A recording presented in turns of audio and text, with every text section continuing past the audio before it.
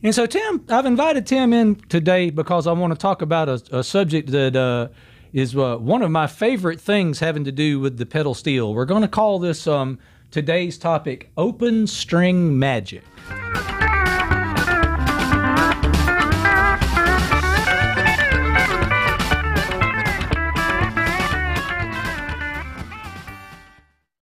Hello and welcome. I'm here in the Steel Lab today with special guest Tim Crispin. He is the owner here at Stage Volume Entertainment, where we film the Steel Lab series. He's also uh, uh, one of the piano instructors here, as well as a drum instructor. Correct. And he's also responsible for all the fine video editing that you see in all of our uh, uh Steel Labs uh, series videos. So Tim is the the guy that makes all that magic stuff happen. And uh, Tim, if you would, tell us just a little bit about your music education and background. All right. Well, uh, so I have um, been playing basically uh, 20 years professionally, um, mostly doing drums. Um, but uh, I went to, to college for a few years and got uh, a degree in music performance and then also in composition and songwriting. Awesome. So uh, I actually started teaching as soon as I got out of college. So I've been teaching and playing for a little over 20 years now. All right. And so, Tim, I've invited Tim in today because I want to talk about a, a subject that uh, is uh, one of my favorite things having to do with the pedal steel. We're going to call this um, today's topic open string magic. And uh, I'm a big fan of the usage of open strings on the pedal steel. And I've invited Tim here today with the keyboard because as we go through along here, I'm going to have Tim play some little examples of things from time to time and let you hear what it sounds like compared to what I'm playing on the pedal steel. And uh, it's also going to help me go through and explain a little bit about some um, some music theory fundamentals that you know Tim's going to help us get into as we as we cover some of these things about open strings in the pedal steel. So, um, one of the first things I want to talk about is there are a lot of sort of things on the pedal steel as far as open strings that uh, might be real familiar concepts to you. Uh, for example, uh, Tim, let me hear an E chord there, please, sir. Like, for example, if we were to play steel guitar rag, then we know that this is the kind of thing that open strings and the pedal steel or, or the steel guitar is made for, right? So that's the kind of open string thing we're used to on the steel guitar, where we take a, a, a key like E there because we got all these E notes, and we play all these stuff, you know, using the bar to add other notes in. And that's a real common theme on the on the pedal steel, right? So, or even the even the steel before pedals, that was a, a very common theme. Steel guitar rag predates pedals. So, so that's the sort of idea that is that's pretty common on the steel guitar.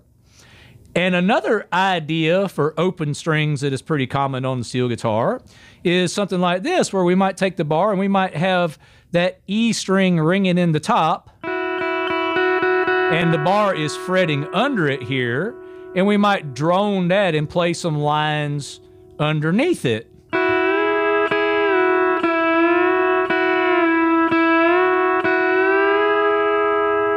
So that's a sort of a, op- a neat open string idea that that happens on the steel guitar from time to time. All right, now other open string ideas that uh, that happen on the steel guitar.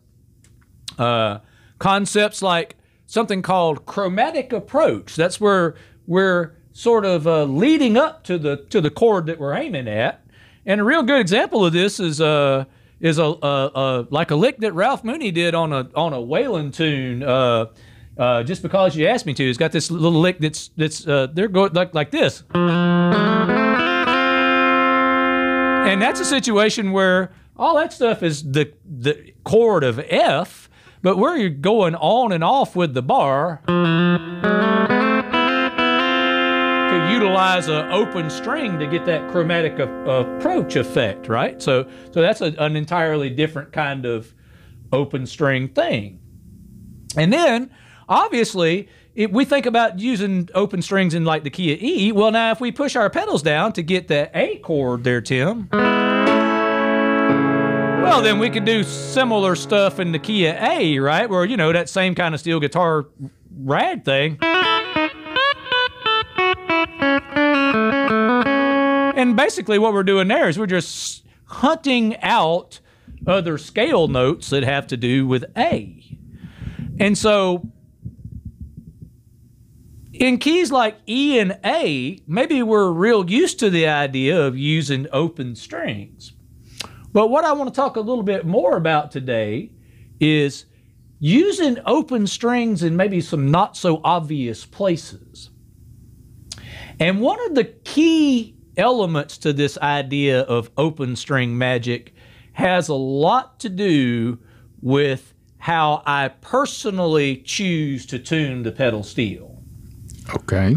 Now, um, as many of you probably know, and maybe of you, a lot of you do, a lot of people use some sort of tempered tuning system on the pedal steel.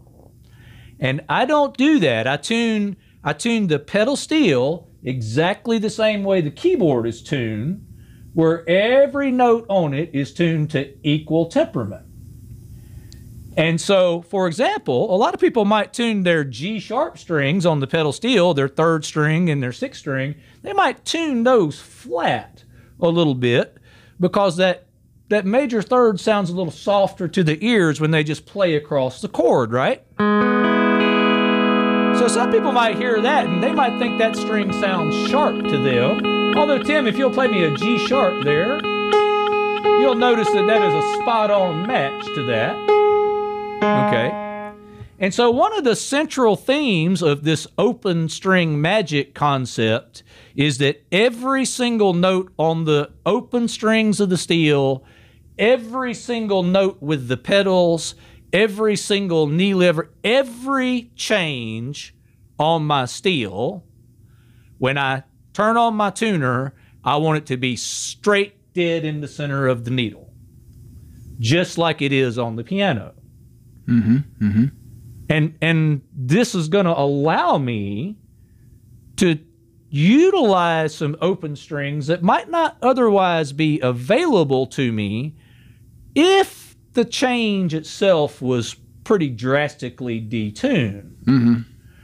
So, for example, what if we had to play a tune that had a chord like uh, C sharp minor, Tim? Well, now we know that to play the C sharp minor chord on the pedal steel, all we have to do is go over here and push the A pedal down. And there's that chord. Now, a lot of times, steel players will tune that A pedal flat, that C sharp note, because it's the major third when they push both pedals down for that A chord they want that major third to sound soft, just like they wanted that open G sharp to sound soft. But if Tim plays me that C sharp chord again, I'm to let this pedal off just a little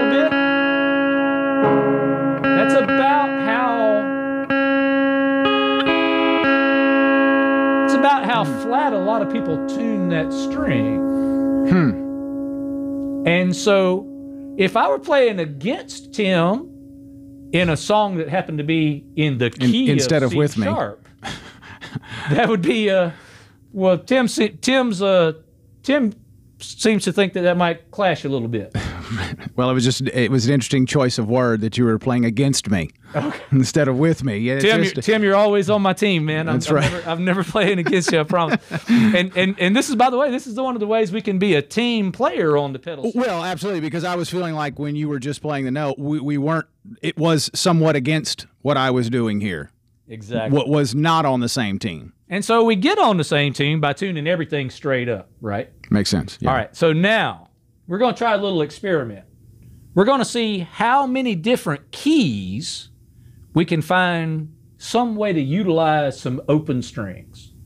So we already covered E a little bit. Let's go to F. Now I did that hammer on thing. But that's really kind of a cheat, right? That's not really got much to do with the key of F. But I got a knee lever, like everybody here, that raises my E strings up to F. Okay. Now, this is one of those things where uh, most tempered tuning charts, this note is tuned really flat, about seven cents in some cases I've seen on certain charts, right? But now, if Tim plays me that F chord, and I've got my open string with my knee lever engaged and it's exactly in tune. Now I can still do that same thing we did in E, where I now have that as a drone over the top, and I'm playing stuff under that.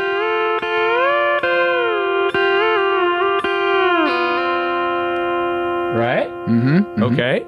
And I can even do things where, like, for example, uh, Buddy Emmons did this trick on his awesome instrumental version of Danny Boy's intro, where he did this thing where he started by having that string open in the key of F, and he, he uses this in his intro lick. The utilization of the open string there, right? So by by making sure that that lever is all the way in tune, it gives me options for open stuff in the key of F, right? Mm-hmm. Right, now let's go on up to F sharp. Tim? Now, F sharp is a great open key because we have an F sharp note right in the top, and we also got one right here on the seventh string. Again, dead in tune with that chord.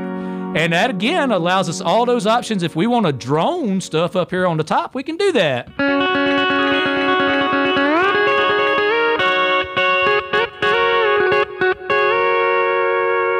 Okay. Open string options for the key of F sharp. All right, let's go up to G, Tim. All right, now, at first glance, there's not many open string notes that have much to do with the key of G, but if we go up here and we play this G chord, we notice some pretty interesting things. Like, for example, if we had to play a G scale and we were just going down through G scale and we went, we noticed that we could go, and that F sharp string out there is a scale note for G. Mm-hmm, mm-hmm. And then we can lift the bar off and that open E is a scale note for G. And then we could lift the bar off here, and that open B note is a scale note. So, in other words, here we go, we go.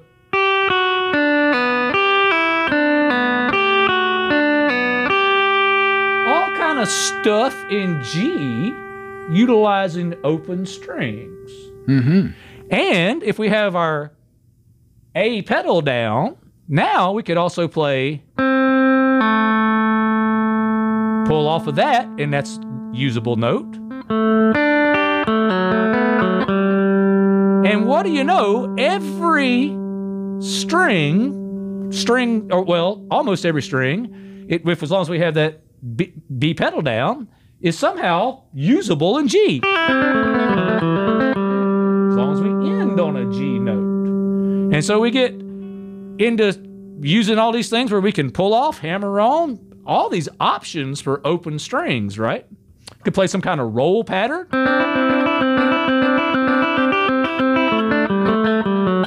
Whatever, right? Doesn't matter what we play, just we know that those are all usable notes. All right, let's go up to G sharp. See what happens. Well, now G sharp, again, we have we got that note built right in. And that automatically gives us options, right? We can still do that thing where we drone it over the top. We can do that thing where we hammer it on and pull it off. Any number of things because it's there's options in G sharp. All right, now we get to A. Well, a awesome key to play open stuff on the pedal steel.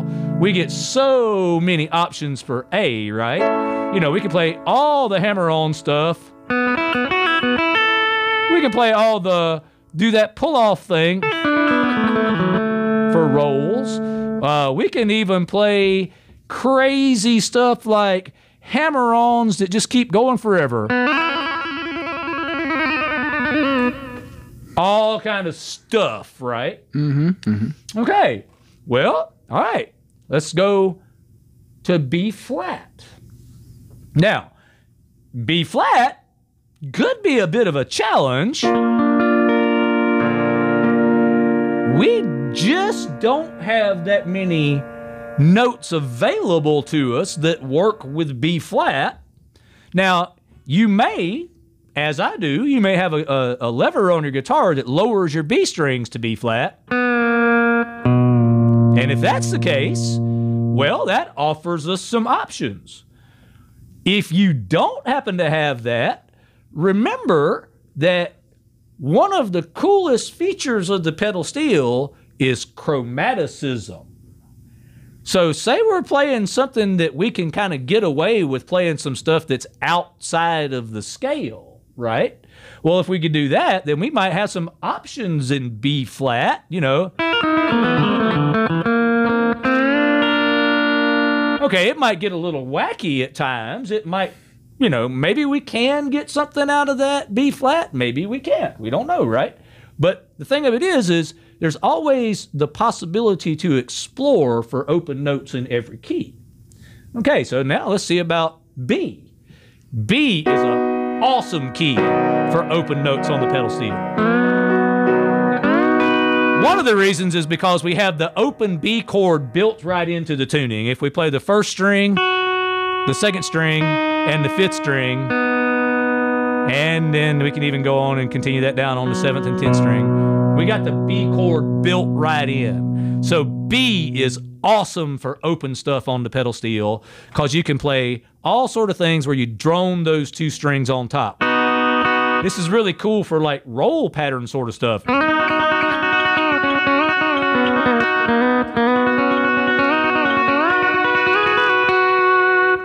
Another neat feature of B is if you have to play like um, bluesy or rock and rolly sort of things in B, it's, it's it's a cool key because you can pull off from this second fret thing and get a lot of neat bluesy kind of scale stuff.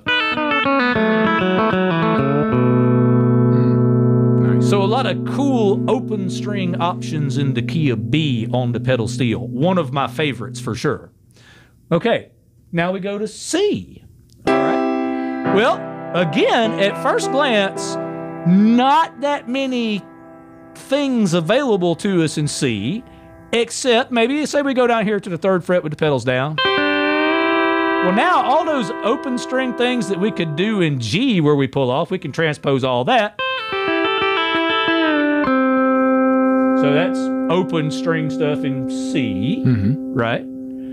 Uh, okay, now we go to C sharp. Well, in C sharp, we have the option of uh, adding, just going with that A pedal down. Now, in this one, we also have the option, if our guitar has it, to lower that second string. Okay.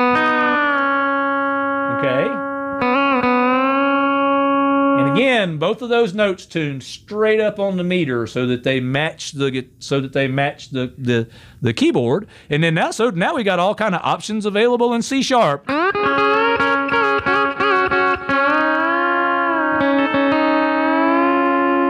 Even outside wacky things, right? All right, now we move up to D. D, an- another really, really cool key on the pedal steel to play open strings in. For the same reason, we can again lower that second string.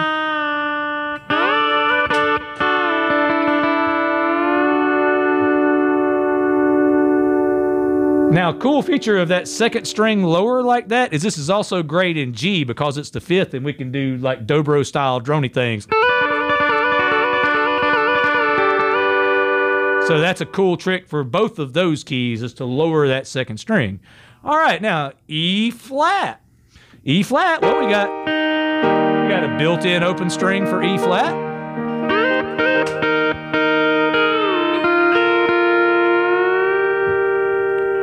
And so, there again, if that string were not tuned straight up on the meter, that would deny us the opportunity of an open string in what a key that we probably would never think of using it in. And now here we go all the way back to E. And we have just went through all 12 keys and we got to use open strings in every one of them and at no point did any of those notes ever clash with the keyboard. Now, basically, all we talked about was uh, major chords and uh, some minor chords. We talked about, like, what if we had to play C sharp minor or whatever. Okay. Well, we know there's other kinds of chords, right? what if we had to play, say, a diminished chord? Again, this is one of those things that most typically uses that lever that raises the E's to F. And if this lever were tuned flat, Tim, play me a F diminished chord. All right. Now, if that lever were tuned flat, and now that was the root. If that was the root of our chord and it were tuned flat, then you see what kind of trouble that would get us in, mm-hmm. right? Mm-hmm. But now, since we're talking about this crazy diminished chord thing, diminished chords, if, if we're used to using them at all, you know that they have this neat trick. They're divisible by three.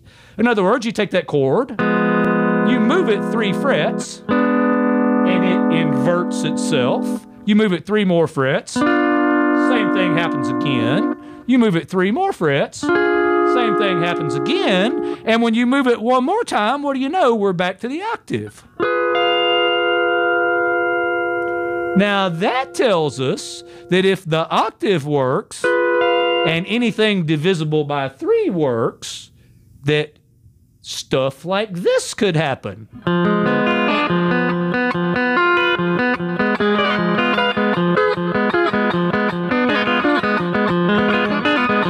Is there any rhyme or reason to that? Not at all. However, there's a formula to it, and it says as long as any place I put the bar is something divisible by three, it's always going to be F diminished. Okay? Now, say we had to play another interesting sort of chord. Play me a A augmented chord, Tim. Okay.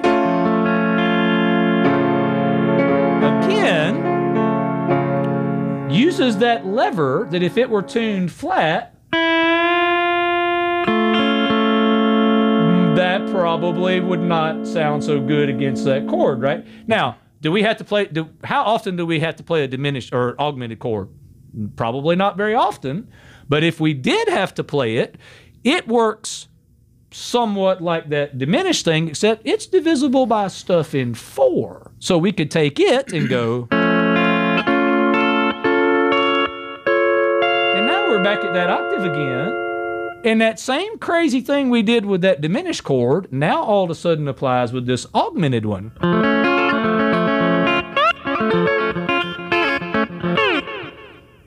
Any musical use for that? Well, you can't ever tell. so, the point of all this is if you have all of these strings tuned straight up on the meter, you never cut yourself off from any of these options. And, Right. and that's the central theme that I want to try to get at here when discussing the concept of open string magic on the pedal steel. See what you can come up with that. See if you can find any cool new open string ideas and share them back with us. Thanks to special guest Tim Crispin today, and we'll see you next time. My pleasure. Lab. See the equipment our pros use at the best prices anywhere online. Support small business and save.